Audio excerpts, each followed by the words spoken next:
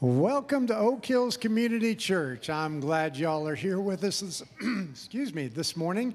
Now, if my voice starts doing that, you guys are going to have to sing louder. Yep. Uh, that's not a bad idea, anyhow, especially if you can sing on key. If you can't sing on key, I'll take lip syncing. Just kidding. I'm really just kidding. My name's Gary, and I get the privilege of leading us in worship this morning. Would you all stand with us as we open in a word of prayer? Heavenly Father, we thank you that you have brought each and every one of us here today. We thank you, Father, that you're even uh, leading people to watch us online. Father, I pray that uh, you would help us all to focus on who you are and what you've done, that we might worship you in spirit and in truth. And it's in Jesus' name we pray. Amen. We're going to start singing a song called Blessed Be Your Name.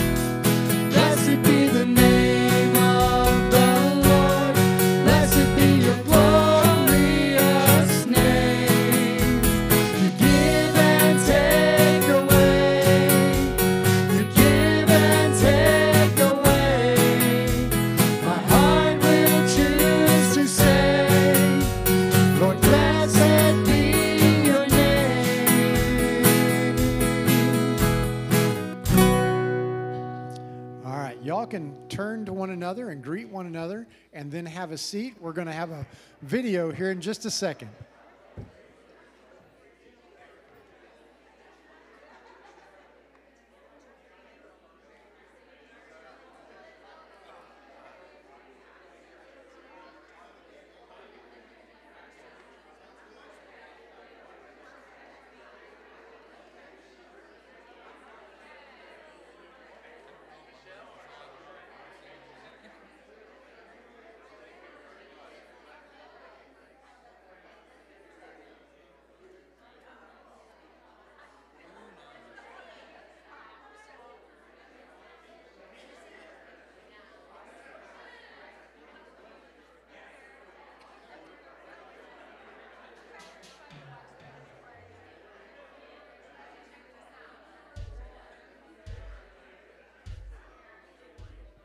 All right, y'all go ahead and have a seat. We got a video from VBS to watch. So if you'll sit down and we'll play it.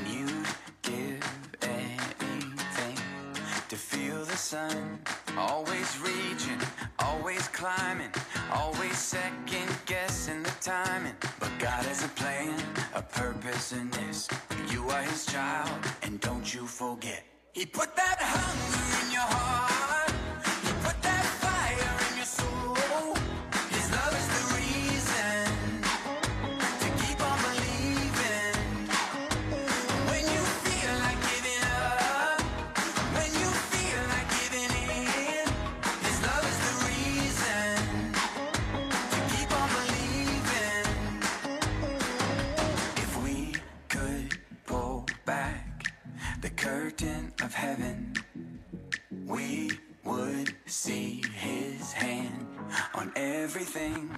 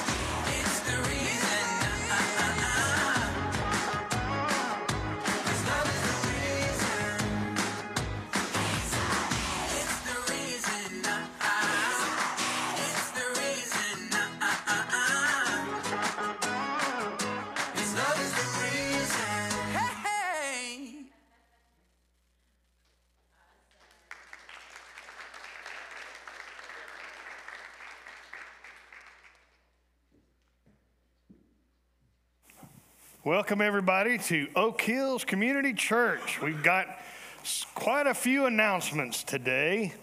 Uh, let's see. First up, we have a Lego night this week, July 3rd, 6, 6 o'clock to 8 p.m., uh, ages kindergarten to sixth grade. And our next youth group night is July 10th uh, it's a Friday from 6 to 8 p.m.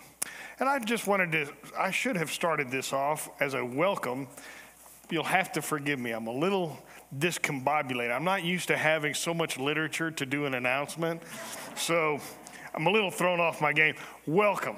If whether you are a long-time member, you're a first-time attendee, you're a guest, visitor, it is such a blessing to worship the Lord with you today. So thank you for being here. Uh, let's see. Yes, we have on July 4th. Michelle and I are having a 4th of July, what we call a Freedom Fest, which is really just uh, a fancy way of saying barbecue. Uh, and, and we're going to have ribs and hamburgers and hot dogs. You know, all American food on July 4th. So you come over to our house, we've got a pool.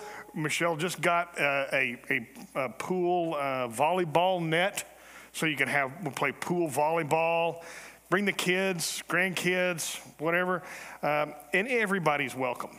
Uh, we just believe in fellowship, that God has gifted us uh, with a small skill and ability to smoke meat, and we want to share that with people. So if you have nothing else to do, please come over to our house. The address is in your uh, brochure, your program. Come over to our house between 1 and 5. So it's going to end in plenty of time for you to go see fireworks somewhere. Uh, and it is in the heat of the day, so if you don't want to get in the outside in the pool, just come inside in the air conditioning, and there'll be games, board games, and or just good old fashioned chin wagging, as we say, people visiting. Uh, hopefully you can you can come to that. We have next Sunday is a mission meal. If you don't come on July 4th, but you're still hungry for some holy smoker barbecue, come back on Sunday. I've been commissioned uh, to to smoke some meat, and so we got we went shopping yesterday. Michelle and I did, and we've got we're going to have brisket, we're going to have chicken, which will have some will be the seasoned chicken, and some will be the not so seasoned chicken, and sausage. Uh, plus whatever else uh, is, is going to be planned in the sides and stuff. Let's see potato salad, baked beans, and apple cobbler. Good stuff. So please come and uh, after, it'll be right after worship service. We'll have a mission meal, just a meal. You don't have to pay anything. It's it's free. The church provides all the food. We do ask that if you were going to go out to eat after service and you were going to buy a lunch, that you might consider donating that amount of money towards supporting our missionaries. And the missionaries we're supporting are the ones in Moldova, which is uh, right next door to Ukraine. It's a very interesting place, and they have lots of neat stories. But they'll be coming and sharing their story with us next Sunday. Let's see, what else? Freedom. Oh, congregational prayer time. Sweet House of Prayer is this Saturday uh, coming up. At 10, from 10 to 11, we have coffee. We get together in little small huddle groups and we pray for each other. We pray for our church. We pray for our communities, for our schools, and for our nation. Whatever is on your heart.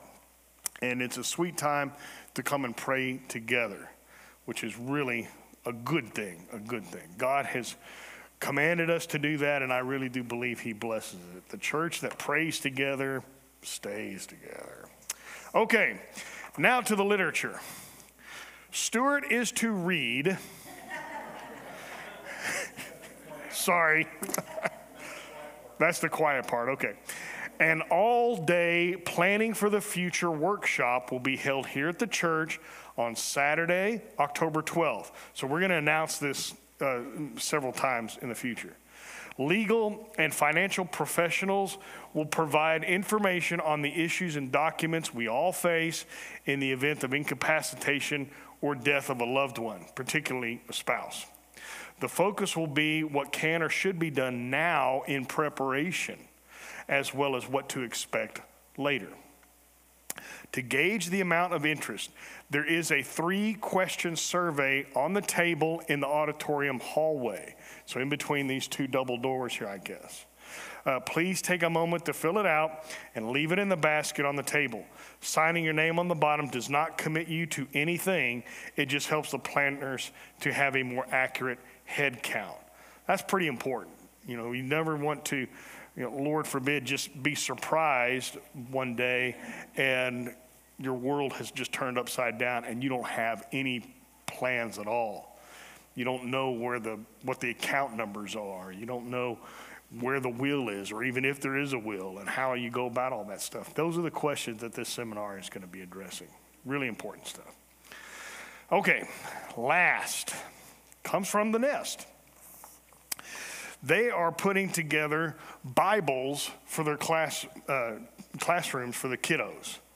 And, he, and Suzanne says, if you would like to be a part of placing a Bible in every classroom for all 100 Nest students, please stop by the desk in the lobby over there. Uh, Bibles have been chosen for different age groups, and your contribution of only $15 will give each child a brand new Bible to use throughout the 2024 2025 school year. This is a new program they're doing, giving the kids a Bible right at the beginning of the school year, and you know they're going to use it all year long. So I think that's great. Um, but if you can't afford the $15, that's okay. She says it's more important to pray this Bible in the hands of children that it will be the beginning of our children's spiritually strong journey through life following Jesus. Praise God for that. And she said, handwritten here, Stuart, don't forget to welcome Nest families. If you have a child that goes to the Nest and you are in attendance today, thank you for coming. It is such a blessing. Praise God. Praise God. We are blessed by your presence. We're blessed to kind of co minister with the nest over there. Uh, and it's just fun to come to church pretty much any day of the week, and there's somebody up here doing something for the Lord, and that's very reassuring. That's it. Thank you, Stuart. We're going to continue singing now. We're going to start with one called Oh, How I Need You. Um, now, the first part we're going to do a cappella. You don't have to sing along with that part. The second part is 6 8 time. Please sing along in that part. The last, most of the song is a toe tapper. Feel free to toe tap, hand slap, just not each other. Okay? Worship the Lord with us. stand, stand with us.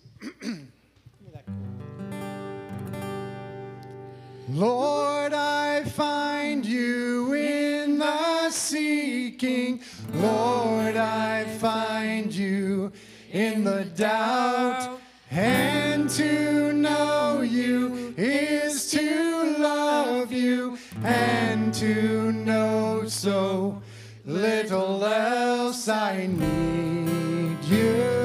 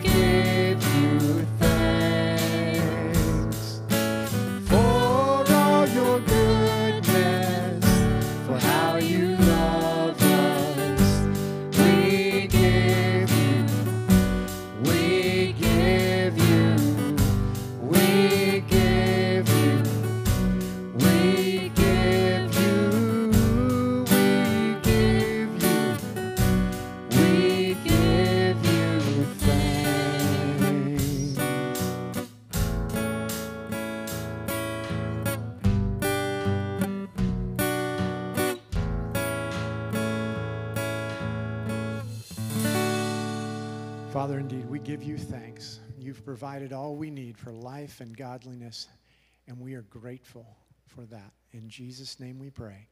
Amen. Y'all can have a seat. Savannah's going to come and lead us in our prayer time, and then Stuart's going to be bringing our message this morning.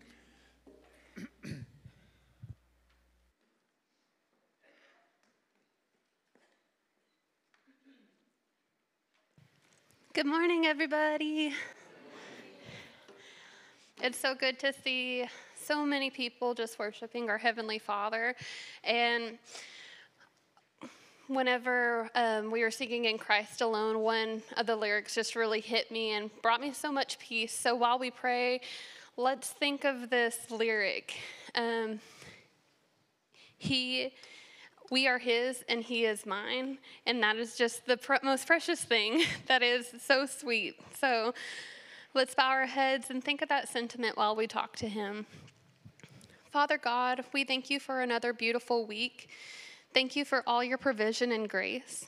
Lord we thank you for a godly environment to raise children in. And we pray that your truth would reside in them forever. You are truly a good father, and we pray that we would be equipped for the next week to do whatever honors and glorifies you. We pray for our friends going through the trial of cancer. We lift up Jim, Janet, Lynette, and Christy. For each of these families, we just pray that you would be with them, comfort them, and provide them abundant peace. Take care of their finances and all needs, please, Lord. We are exceptionally saddened by the passing of Mary, who battled, who battled colon cancer until the end of her life. Father, we just are so grateful, though, that you triumph over death and that the separation from her is only temporary. We lift up our friends facing various trials. For Cindy, we pray that you um, your favor would shine on her, and that that favor would encourage the insurance and construction companies to do the right thing by her. God, we pray that you would alleviate all anxiety she may be feeling during this circumstance. And we pray for Susie as she takes care of Jim. God, please continue to encourage her. We lift up Todd, a coworker of Gary's. Lord, Though he has contracted something and it might affect his heart and lungs, Lord, we just pray that you would prevail over it, providing him swift healing and that his heart and lungs would not be compromised. Father, we pray for Marie's casita and motorhome. We just pray that it would sell swiftly and fairly, and that you would encourage a buyer to come by and see just how beautiful her property is. We pray that every need in the meantime would be provided for. For Linda A., we pray that you would keep her in good spirits as she faces complications after her surgery. We pray that you would guide our dear friend Kelly with the right attitude and heart to face each task you lay before her. We pray for Cindy, Kelly's cousin. We pray that you would restore her breathing and heal her sinuses completely. We continue to lift up Jim, whose lung transplants may be rejecting. Lord God, we just pray that his medical team um, would make the best decisions for him. And we, we pray that you would guide him and Nyla to see your mercies each day. We pray for Linda C's doctor's appointment tomorrow. We pray that her sugar levels would not swing so much. Please guide her medical team to come up with a sustainable plan for her. We, play, we also pray for Stephen, Emma's son. We pray that his healing would be complete without any complications, and we thank you for all that you've done so far in his treatment and healing. We continue to lift up the Lees as they plan to go to Belize for their medical mission trip. We pray that this mission trip would be a blessing to every person, worker, and patient. Lord, may many, many people come to believe in Christ through this trip, and may you just bless the hands of the workers as they tend to each need. Father, we pray that your will would be done in each of these circumstances. Help us to see your sovereignty in all outcomes. We pray that the teaching would be edifying to us that we're about to receive. And God, just help us to be the salt and light for your kingdom. We pray all this in Jesus' name. Amen.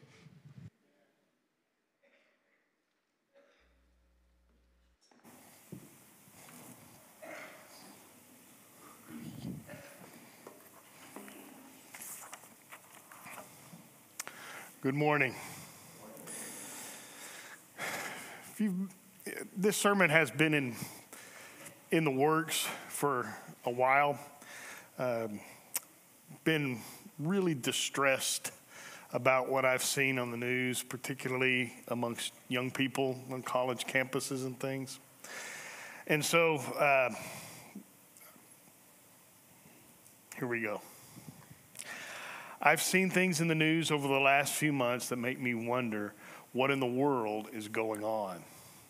It looks like civilization is decaying in front of our eyes, and it's our young people who are leading the way over the cliff into chaos. I got to the point where I'm thinking, where are they learning this? Where is all of this coming from? Particularly the really concerning part of anti Semitism. Wanted to know if they'd ever seen videos of the Holocaust or what the young Hitler youth were doing to Jewish folks in the streets of Germany. Unfortunately, they're being taught it.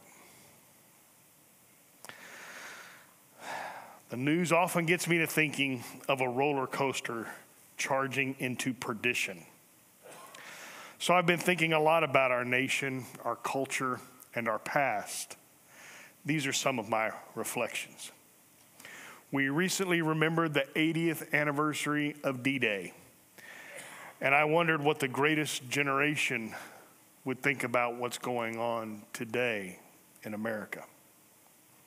I wonder if the founding fathers had our current state in mind when they forged the greatest civil documents ever written the Declaration of Independence and the Constitution for a free, representative country. It seems like this nation is tearing itself apart, pursuing individual diversity without any unifying principle that brings us together as if we no longer have the common cause of safeguarding liberty and promoting freedom. Laws are trivialized and ignored by people in authority responsible for maintaining them. Or authority seems to attack citizens in a tyrannical con- contempt of the individual's constitutional rights of speech, assembly, and faith. I think the problems we see are the results of a nation turning its back on God. But there is a solution to this decay. Part of it is found in our very own building our children's ministry does an excellent job of teaching the faith to the kids here on Sunday.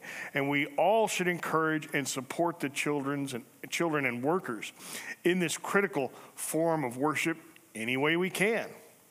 Volunteer to help out on Sunday mornings. Just once a month or every couple of months. Help in the events during the week, like Lego night and youth night but most of all, pray for our kids and their teachers. Another part of the solution is the Nest Preschool here that teaches young children the core principles of both education and Christianity during the week. Brothers and sisters, I think the hope for the world is to raise children with a foundation of truth knowledge of Jesus Christ. In other words, it is vital to preserve civilization that we teach children the Bible. It is our mission as parents and teachers and Christians.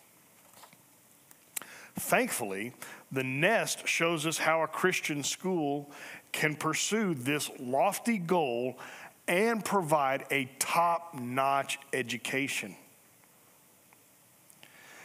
Nest graduates are going into first grade already knowing so much more than the other children that enter first grade.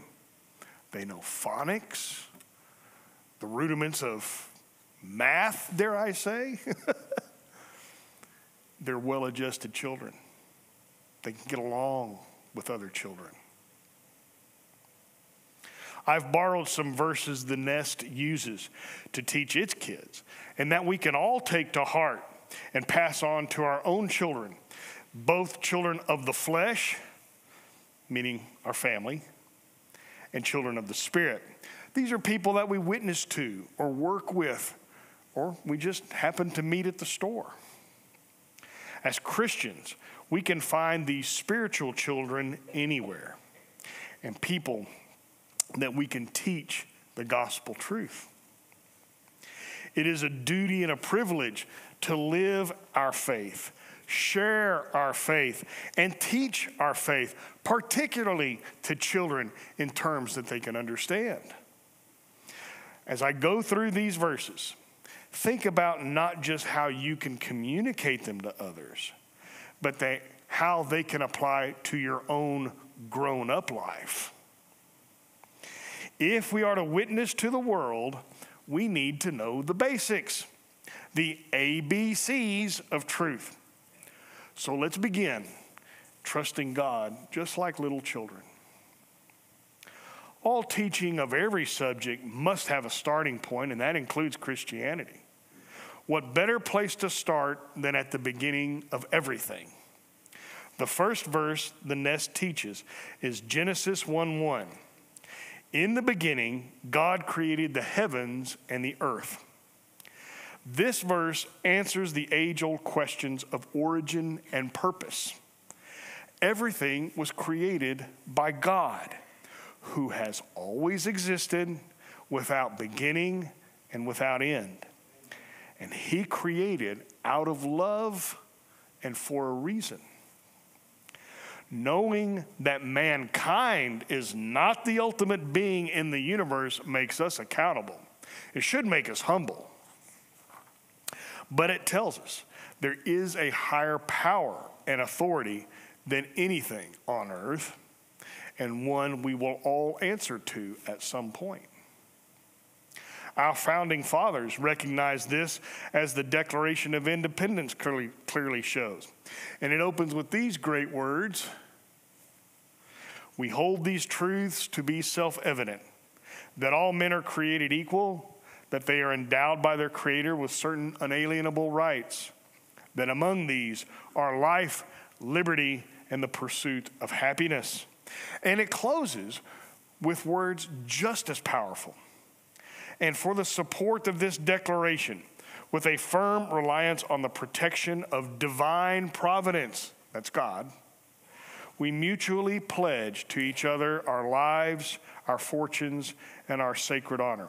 In short, our founding fathers were willing to commit everything they had and everything they were to founding our homeland. God is real. He is eternal, all powerful, and all knowing.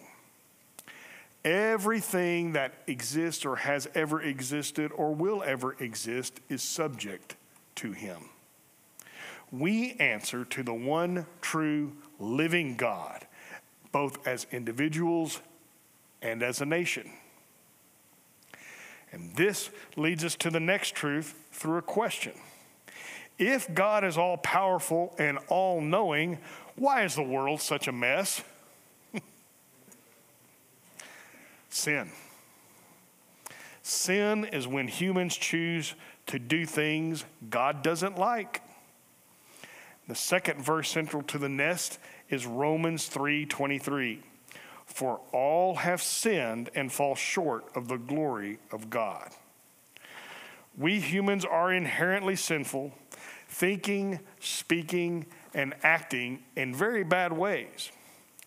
Even the very best of us cannot behave properly 100% of the time. We are selfish, often seeing other people as obstructions to getting what we want. If you don't believe me, just ask a parent who refuses to let their child have ice cream before they eat their dinner. You'll see how sinful the little rascals can be. Worse still, there's not anything we can do to save ourselves from such a wretched condition and please our Creator. Left to ourselves alone, we are all lost, descending into the very depths of depravity. This happened once before, and it's recorded in the Bible. Now, these verses that I'm about to read are not part of the nest verses. That would just scare the kids, and they would leave and would never come back. But they do clearly illustrate the reason God caused the flood in Genesis 6, 5, and 7. The, then the Lord saw that the wickedness of mankind was great on the earth, and that every intent of the thoughts of their hearts was only evil continually. So the Lord was sorry that he had made mankind on the earth, and he was grieved in his heart. Then the Lord said, I will wipe out mankind, whom I have created from the face of the land, mankind and animals as well, and crawling things, and the birds of the sky, for I am sorry that I have made them. I know my mother is asking, why did God kill the animals? Well, the answer is uh, these are land animals. Man was created to be sovereign over them. And when the leader becomes polluted by evil, it infects everything he or she leads. Another good question is why does God allow sin to be in his creation? The answer is love. Love must be a freely made choice. It cannot be coerced or commanded or constructed. Because if it is any of those things, then it's not really love. That means that humanity had to be given the choice to love God or not. And the not part is sin, always. Anything we love more than God, including ourselves, leads us to do something bad eventually, something that the holy God detests and will not allow in his presence. When we sin as Christians, we fall out of fellowship with God until we apologize and repent. And to repent means to change, to go from a direction towards sin to a direction towards God. We have to try not to sin again. We'll fail every day. But if we don't try, that's when we get in deep, deep yogurt. Very bad trouble. But there is hope. Just as God provided Noah and his family with an ark and two of every animal as a do over for creation, he provides the ultimate solution to our heart problem, our struggle with sin Jesus Christ. The solution to our sinful state is Jesus, who loves us so much, he took upon himself the punishment for our sins to satisfy God's holy justice so we could be forgiven by our faith in him and made righteous like him and come before God with new hearts to spend eternity with the Lord in peace. The third verse the nest teaches is John 3:16. For God so loved the world that he gave his only son so that everyone who believes in him will not perish, but have eternal life. God is grieved by our sinful state, but he loves us too much to leave us in sin without hope for being made right with him. His son, Jesus Christ, fully human and fully God, came to earth 2,000 plus years ago to teach, heal, and save us by bearing the justice of God for our sins so we could be forgiven by God's grace through faith in him. Look at this verse carefully. You'll note a few things. First, God gave. God was not compelled to provide salvation to mankind. He wanted to save man. He wanted to present it as a gift, not as anything we had to earn. All we have to do is truly accept His salvation through Jesus Christ and give ourselves to Him completely. And don't worry that you're not good enough for Jesus because no one is. He will clean up the mess we've made of our lives. Yeah, I like that. There's a couple of amens over here. Praise God. Secondly, we see that God gave of himself. The Son of God, Jesus, gave humanity a solid pathway to redemption. Faith, belief, absolute trust in him, recognizing that we need a Savior because we cannot save ourselves. We trust Jesus to right our wrongs. The third thing we see God's motivation was and is love, and it always has been. It's a love we cannot fully comprehend because He gave not only Himself, but His Son. He gave His Son for us when we were still His enemy. We were not God's friends. And if you think about it, every person is saved while he or she is an active enemy of God. Our Creator loves us with a love without limits. And that's why He continues to forgive us when we continue to mess up. Usually happens in the church parking lot right after dismiss. No, I'm just kidding. Jesus explains how the Lord's salvation works, why his work is so important. And again, the key is love. The fourth verse the Nest teaches is John 14, 6. Jesus said to him, I am the way and the truth and the life. No one comes to the Father except through me. Jesus is the only way for humans to be reconciled with the Creator. There is no other option. He is not a way, He is the way. Yes. His Word, the Bible, is truth. The only truth that matters now and into eternity after we die. He is life, a life of purpose and fulfillment, joy, community, and thanksgiving now and forever, even after we part from the earth.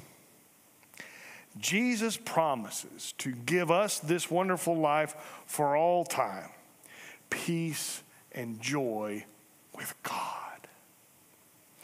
We follow his way by living according to his standards. We know what to do and what to avoid when we accept the truth. And we commit our lives to a wonderful purpose in his love, sharing his love with other people. Without Jesus, there is no way to be reconciled with the Creator, to have our sins blotted out forever, and to come home to our eternal Father. And one of the ways we follow Jesus on his way to obey his commands, and one of the big ones, is to share the truth and God's love with other people. And this leads us to the fifth verse that the nest teaches Mark 16, 15. And he said to them, Go into all the world and preach the gospel to all creation. We are to teach his message to people we meet in any way we can. Sometimes we use words to explain that we are all sinners, we are separated from God, and we desperately need a Savior. Sometimes we act out the gospel by forgiving others who don't deserve it or even ask for it. Sometimes we show God's love through acting kindly and compassionately and generously. Sometimes we pray for and with people. Sometimes we just walk through life with people for a while until they ask, Why are you so happy? Even in tough times, you're happy. Well, I'm glad you asked. Let me tell you about somebody. See, all of this is sharing the gospel.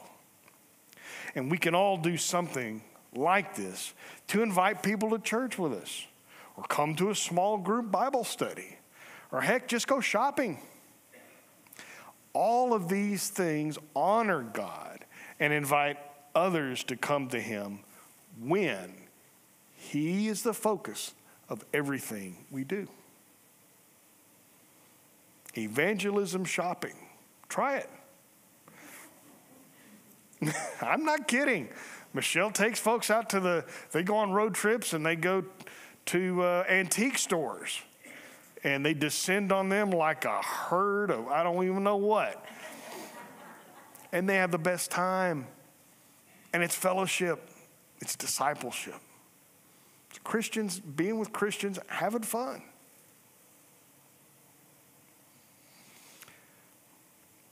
We have been given as Christians the greatest gift there is, and we should be willing and eager to share it with others.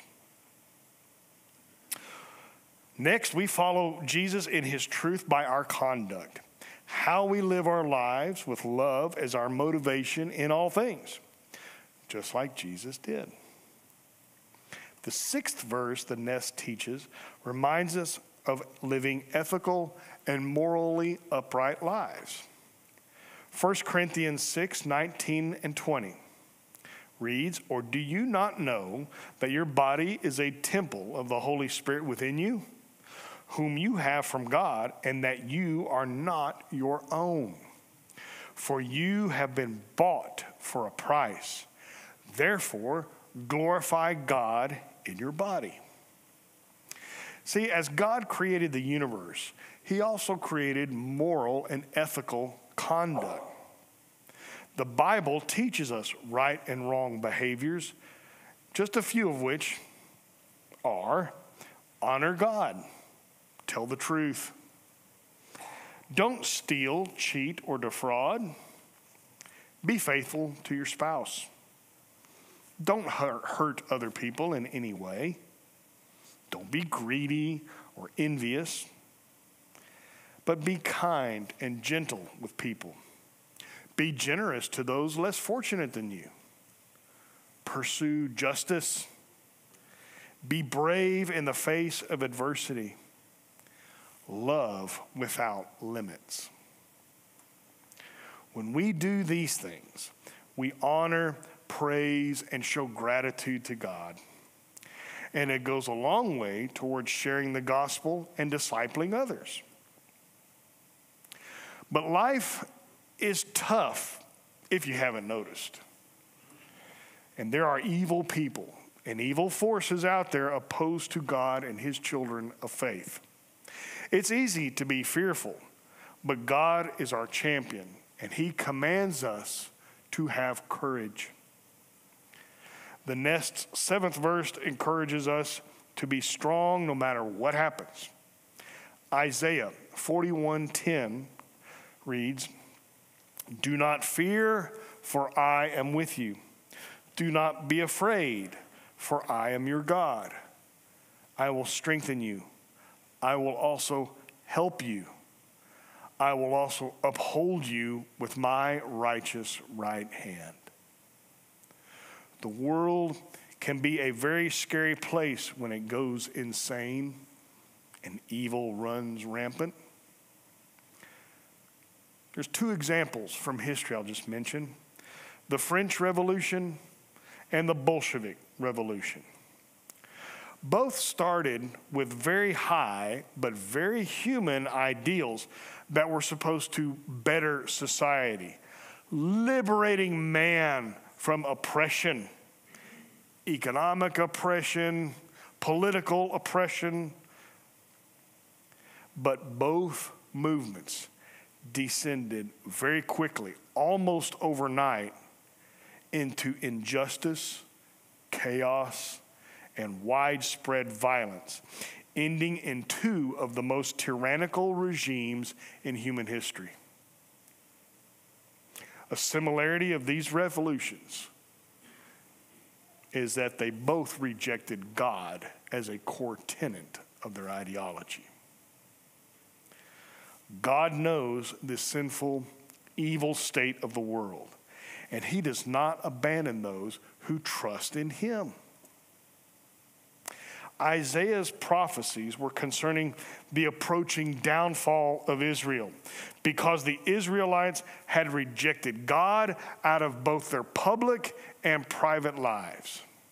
God was going to bring a calamity upon them.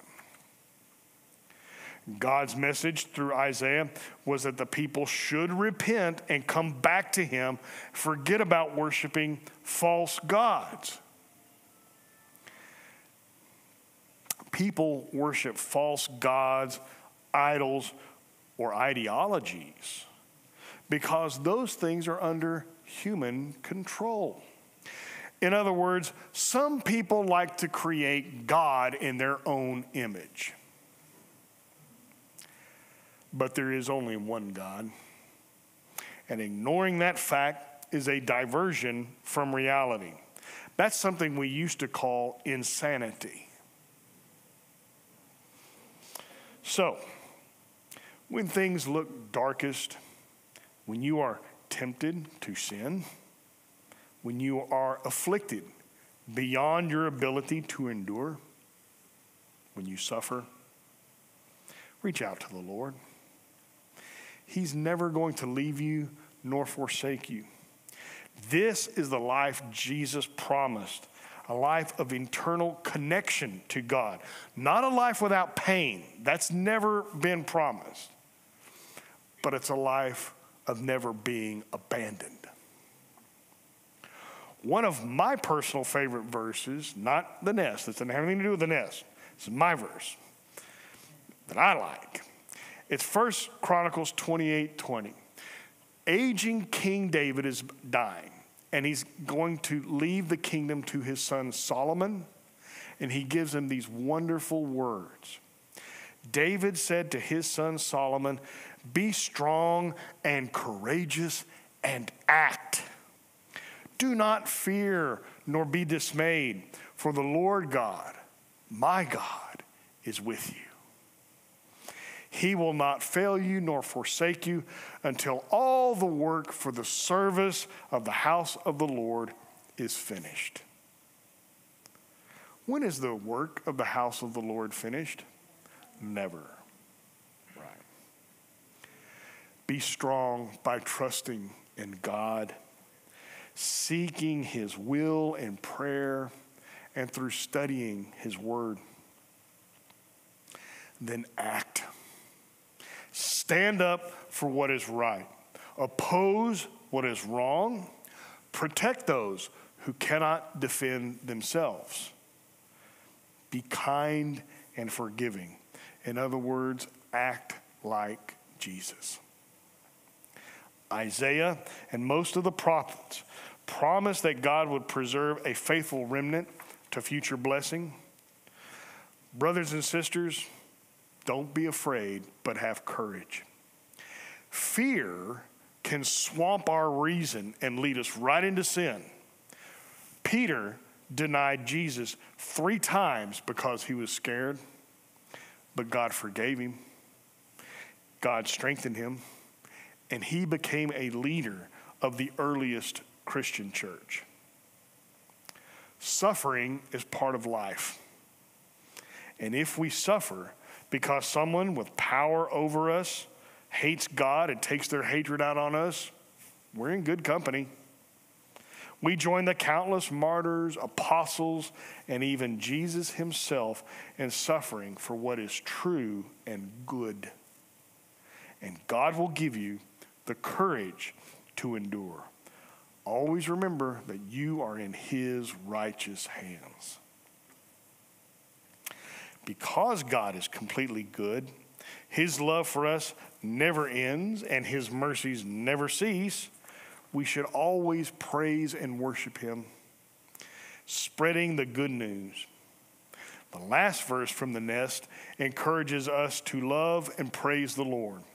Psalm 9, verse 1 I will give thanks to the Lord with all my heart. I will tell of all your wonders.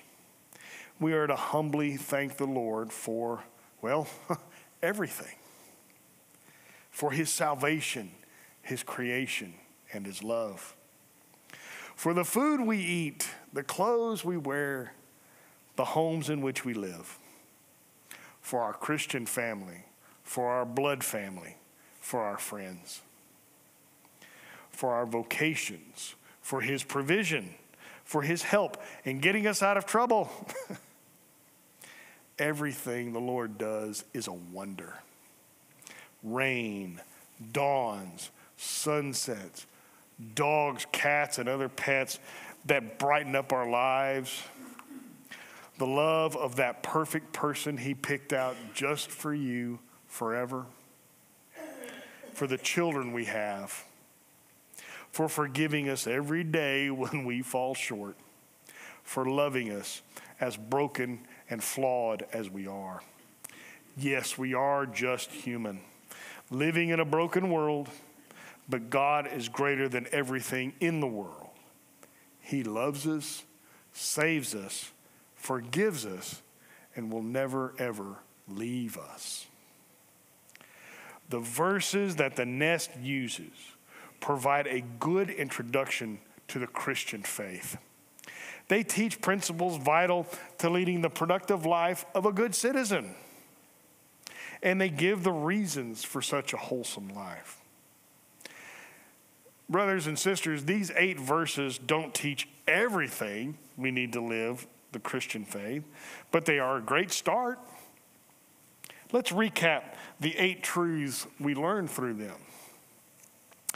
Everything starts and ends with God, who is eternal, just, and loving. Humanity is twisted by sin and cannot correct this state without a Savior. And because God loves us, he provides the saving solution in Jesus Christ. Faith in Jesus is the only way to peace, salvation, and eternal life. He wants us to share the truth and His love with others. We should conduct ourselves according to His standard of ethics and morality. We are to be brave in a dark world because God is always with us and for the good changes God makes in us, we are to praise Him all our days. Sadly, public schools have not taught divine truth for a long time.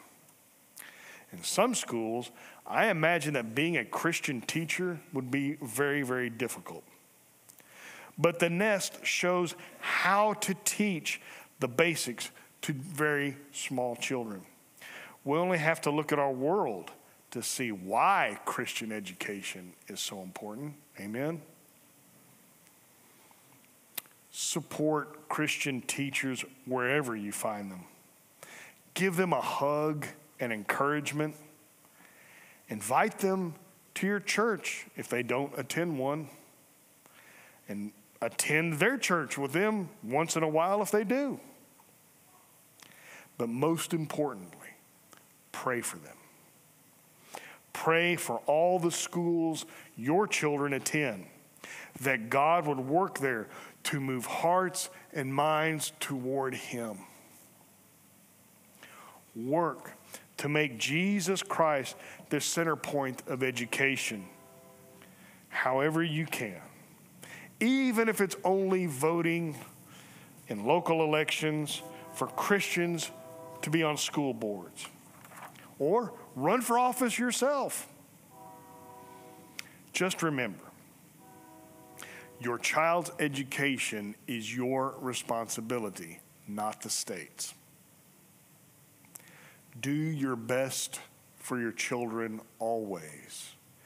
They depend on you, and they will follow the example you set. There are three lessons I'd like for you to take away. First, teach the Bible. The truths it contains are the basis for a productive life now and eternal life of peace. The more we can teach these truths to children, the greater chance they will take root and blossom into gardens of Christians who will lead their generation out of the mess we are in. Maybe they will avoid our mistakes. Second lesson be an example of faith. Faith to your children primarily and to other people in general. Let others see you praying, studying your Bible, and inviting people to church. Your kids want to be like you. Other people will be interested in the love and joy God shines through you. We are all commissioned to spread the gospel, and it starts with our families. Third lesson true joy comes from true love. If we want our children to be happy, then we must teach them that God is real, He loves them, and He has a purpose for them. There is no greater love than the love which God pours out on us.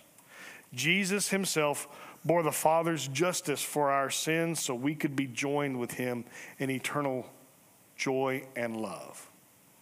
That's love we cannot imagine, but it's real.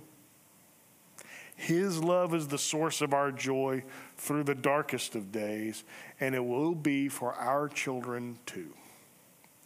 Yes, we are a free country, but freedom without a basis in truth and without accountability to laws and morals is chaos.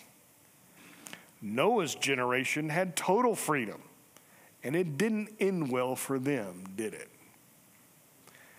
Teach and live the truth of God and humanity.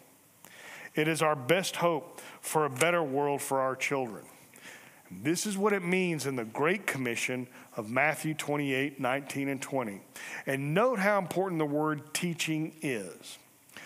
Go therefore and make disciples of all the nations, baptizing them in the name of the Father and the Son and the Holy Spirit, teaching them to observe all that I commanded you. And lo, I am with you always, even to the end of the age. Our first disciples are those closest to us, within our family, our children. We are all commissioned by Jesus to make disciples.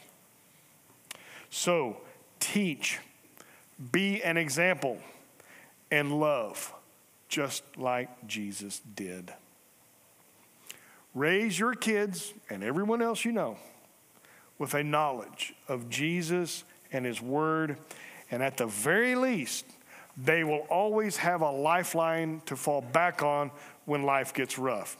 At best, God opens their hearts to Him completely and they lead the very best kind of life, a life devoted to divine purposes. In conclusion, I'll just say this be encouraged. We are in the hands of the Almighty God. Our job is to point out the way to Him to our children and other people. My best friend sent this last bit to me after I officiated his wedding recently. I found it incredibly encouraging. I hope you will too. It's written by a guy named Alex Craven. He's a, as far as I know, the only thing I could find about this guy is that he's a dad and a youth pastor in Russellville, Arkansas. That's it. I don't know any other credential, but it's good stuff. God knew and God knows. Don't feel sorry for or fear for your kids or grandkids because the world they are going to grow up in is not what it used to be. God created them and called them for this exact moment in time. Their life wasn't a coincidence or an accident. Raise them up to know the power they walk in as children of God. Train them up in the authority of His Word. Teach them to walk in faith, knowing that God is in control. Empower them to know they can change the world. Don't teach them to be fearful and disheartened by the state of the world, but hopeful that they can do something about it. Every person in all of history has been placed in that particular time because they were in God's sovereign plan. He knew Daniel could handle the lion's den. He knew David could handle Goliath. He knew Esther could handle Haman. He knew Peter and Paul could handle persecution. He knows that your child can handle whatever challenge they face in their life. He created them specifically for it. Don't be scared for your kids. Be honored that God chose you to parent the generation that is facing the biggest challenge of our lifetimes. Rise up to the challenge. Raise Daniels, Davids, Esther's, Peter's, and Paul's. God isn't scratching his head wondering what he's going to do with this mess of a world. He has an army he's raising up to drive back the darkness and make him known all over the earth. Don't let your fear steal the greatness God placed in them. I know it's hard to imagine them as anything besides our sweet little babies, and we just want to protect them from anything that could ever be hard on them, but they were born for such a time as this. Let me pray. Lord, thank you for our children and the privilege and responsibility to teach them. Give us the courage, the strength, wisdom, and love to teach the truth, to be brave, joyful, joyful, and hopeful in their lives. May we all be strong and courageous to stand with you no matter what. What a joy it is to be with you. Please save our children. Give them a holy purpose to build a better world. We love you and we trust you in all things. Amen. Thank you, Stuart. Let's all stand together. We're going to sing our last song. It's called Our Great God.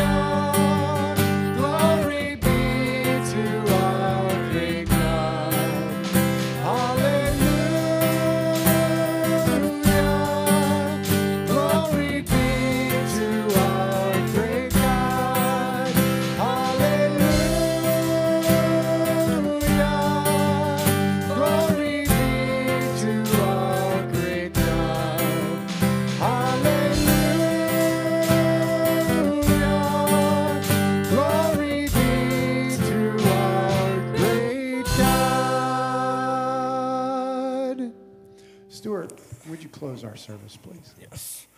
Benediction today is from 2 Timothy chapter 4 verses 1 and 2. I charge you in the presence of God and of Christ Jesus, who is to judge the living and the dead, and by his appearing in his kingdom, preach the word. Be ready in season and out of season. Reprove, rebuke, and exhort with complete patience and teaching.